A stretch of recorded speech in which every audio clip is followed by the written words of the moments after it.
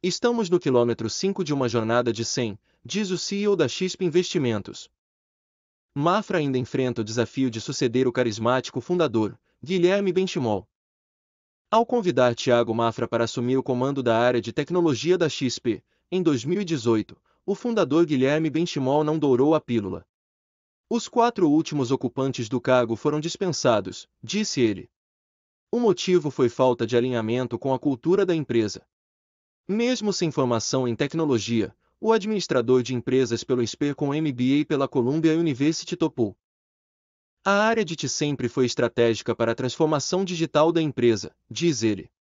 Prova disso é que o departamento tinha 200 pessoas quando assumiu. Ao deixar o cargo, em maio de 2021, para assumir o comando da XP, eram 2.000. Não bastassem as exigências de comandar uma startup que se tornou a companhia mais consolidada do mercado financeiro, Mafra ainda enfrenta o desafio de suceder o carismático fundador. Para ele, isso é uma vantagem, não um problema.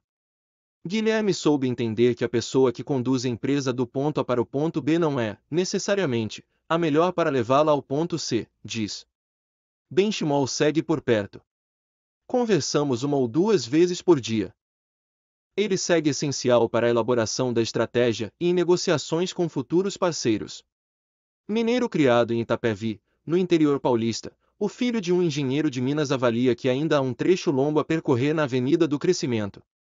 Estamos no quilômetro 5 de uma jornada de 100, diz ele.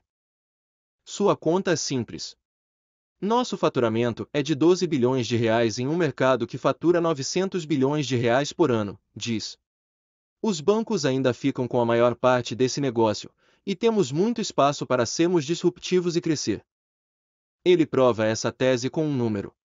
Em média, nossos clientes têm 50% de seu patrimônio conosco. Teoricamente, se atraíssemos o restante, poderíamos dobrar de tamanho sem ter de conquistar nenhum cliente novo. Para isso, a estratégia é oferecer cada vez mais produtos e serviços e, aos poucos, reproduzir a estratégia que deu certo no Brasil em uma escala global. Com cuidado, é claro vamos começar colhendo os frutos mais baixos na árvore.